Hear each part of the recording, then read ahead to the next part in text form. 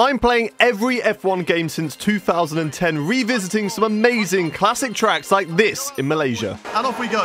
Going to go right around the outside of everyone. Trulli is driving into Michael Schumacher, just trying to avoid and dodge everyone. Oh my god. Oh my god. Oh my god. What an overtake. Can we get Nico Hulkenberg as well? Hard on the brakes. Round the outside of all these drivers with Tom attached to Rosberg. We're absolutely flying. That's why. That's what we wanted. Whoa! No! Okay, box, box, box. We are P18. Right behind teammate now.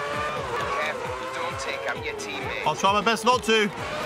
Get out of the way! Get out of the way, Sebastian! Yes, Rob, we've got him. We've got him. What a move.